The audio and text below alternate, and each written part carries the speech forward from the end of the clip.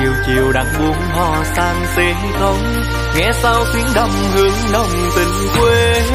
Về quê anh đây đồng tên tháp mười ngọt ngào câu hát kia cụ hời.